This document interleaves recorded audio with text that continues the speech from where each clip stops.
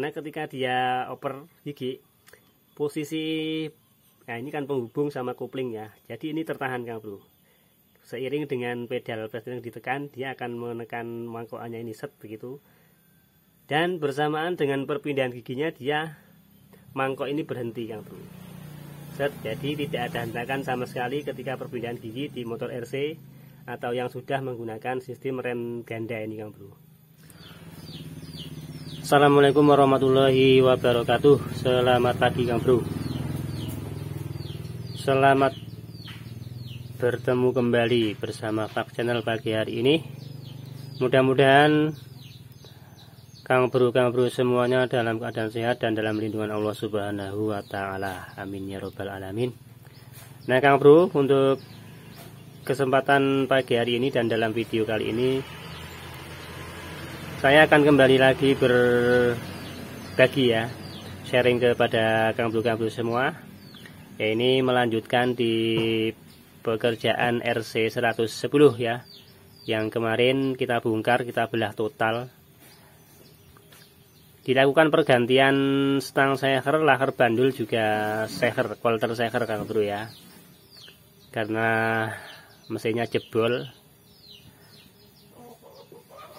dan alhamdulillah ini sudah hampir selesai Kang Bro. Tinggal ini perakitan di bagian kopling. Ya. Dan kali ini dan dalam, dan dalam video kali ini saya akan bagikan ke teman-teman yaitu proses pemasangan dan perakitan di bagian koplingnya bro. akan tapi sebelum kita lanjut ke perakitannya Kang Bro jangan lupa untuk selalu dukung channel saya supaya lebih berkembang dan saya lebih giat dan lebih semangat untuk berbagi sesuatu yang bermanfaat kepada teman-teman semua kepada Kang Bro Kang Bro semua di bidang otomotif.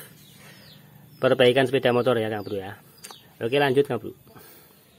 Oke Kang Bro pertama-tama kita pasang dulu untuk bagian terkoplingnya Kang Bro ya. Terkopling. Ini fungsinya untuk menekan ya Kang Bro ya. Ini di sini ada juga penutup. Nah seperti ini. Dia fungsinya ada pillar di sini kan bro ya. Pillar ini fungsinya ketika ditekan pedal gas dia akan mendorong plat ini. Nah ini kan ketemu di sini kan bro. Mendorong bagian ini. Otomatis ketika dia terdorong dia akan menggerakkan di ujung sini untuk menekan setut yang di sini kan bro. Begitu. Oke lanjut kita pasang untuk bagian koplingnya kan bro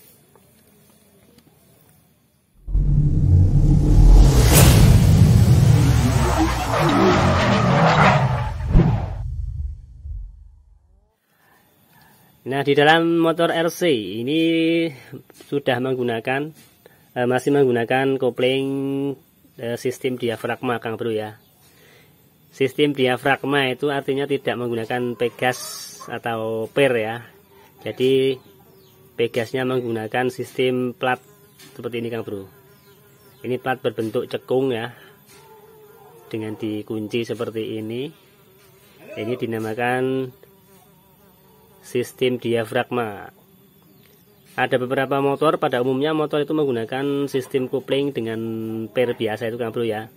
Kan tapi di RC ini juga Shogun ya. Untuk tipe-tipe motor yang sekarang yaitu ada motor Jupiter Robot Vega ZR itu sudah menggunakan kopling diafragma seperti ini Kang Bro. Nah ini cukup simpel Kang Bro untuk proses dan sistemnya sistem kerjanya yaitu cukup dia Nah ini ada setut ya. Ini namanya setut pendorong platnya. Dia akan terdorong oleh setut.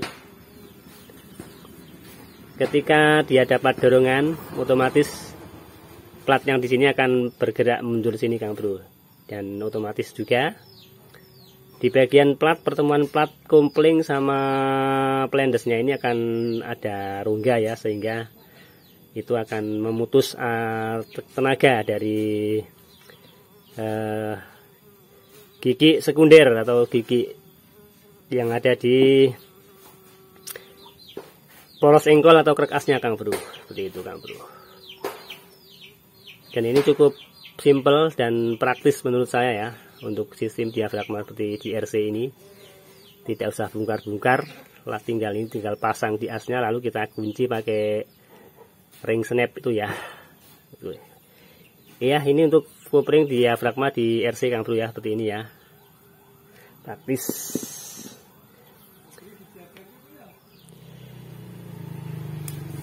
Oke Kang Bro sebelum kita rakit bagian-bagian atau komponen-komponen dari sebuah motor itu ya.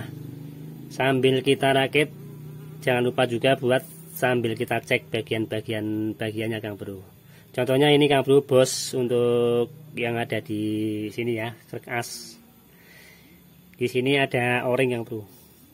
Nah ini o-ring ini sangat penting Kang Bro untuk menghambat oli ya oli mesin supaya tidak masuk ke ruang bilas atau ruang kalter Kang Bro. Makanya untuk ring ini usahakan jangan sampai rusak. Kalaupun terjadi rusak atau retak atau pecah ya, usahakan ganti baru seal yang ada di sini Kang Bro. Oke, kita pasang ya Kang Bro ya. Ini masih bagus. Oke. Sekarang lanjut kita pasang koplingnya.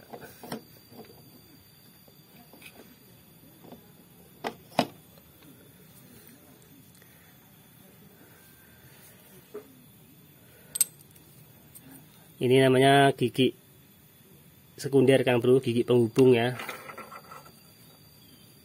Ini posisinya di sini Kang Bro.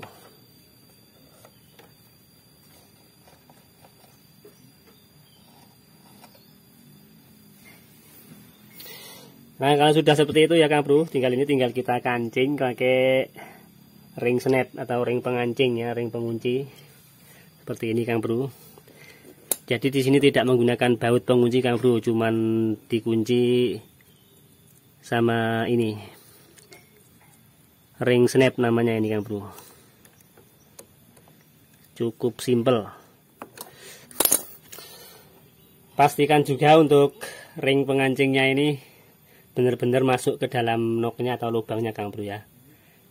Supaya tidak jepat nantinya. Oke seperti ini kan bro ya Lalu kita masukkan untuk setut kuplingnya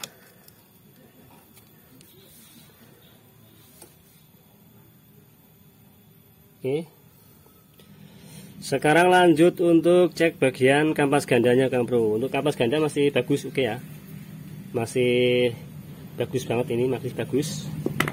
Berikut mangkoan. Mangkoannya juga masih oke mas bro. Masih bagus ya. Nah ini yang istimewa dari one way di RC ini Kang Bro. Dia one way nya sudah menggunakan besi ya. Kalau motor-motor lain biasanya di sini bagian rumah pelornya ini menggunakan atom atau fiber itu Kang Bro ya. Jadi ini sudah menggunakan menggunakan besi Kang Bro. Sangat kuat ini Kang Bro. Mantap. Oke langsung saja kita pasang. Masih bagus ini Kang Bro. Nah.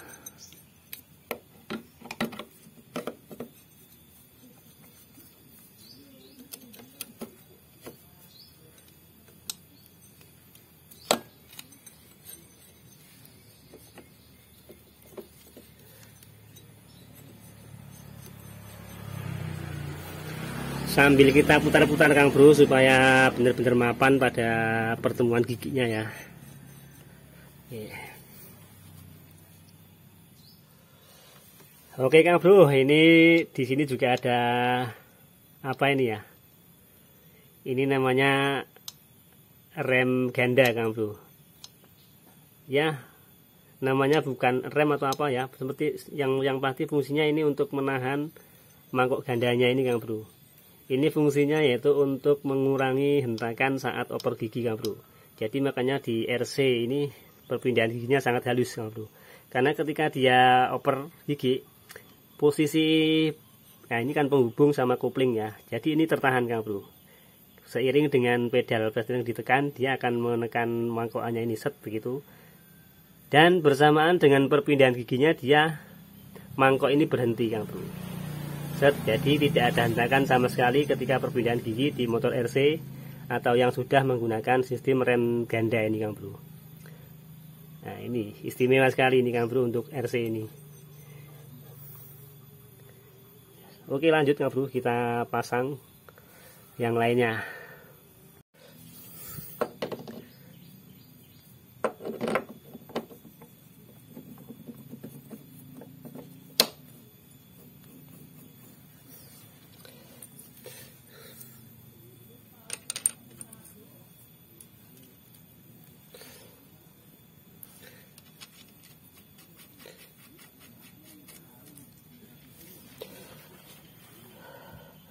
Oke Kang Bro, ini one way juga sudah terpasang ya, ini one way starter Kang Bro. Tapi ini tapi ini sudah tidak berfungsi Kang Bro karena ini sudah tidak ada one way-nya ya. Nah, ini ketika bolak-balik bisa diputar. tapi ini harus tetap kita pasang Kang Bro karena ini juga untuk penahan di kampas gandanya ini Kang Bro. Meskipun sudah tidak berfungsi tapi kita pasang saja Kang Bro. Oke Kang Bro sudah terpasang ya, tinggal kita kunci murnya lalu kita tutup.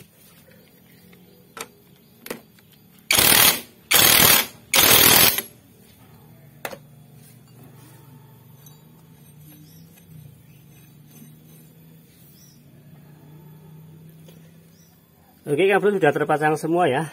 Untuk bagian-bagian kopling di RC100 ini sudah selesai tinggal nanti kita pasang tutupnya Bro jadi seperti itu ya proses untuk pemasangan bagian kopling di RC100 dan bagian-bagiannya Kang Bro sangat simpel sekali dan sangat mudah untuk dipasang di RC100 ini Kang Bro Oke sampai di sini dulu videonya. Mudah-mudahan bermanfaat dan mohon maaf jika ada kesalahan kekurangannya. Sampai ketemu lagi di video selanjutnya Sekian wassalamualaikum warahmatullahi wabarakatuh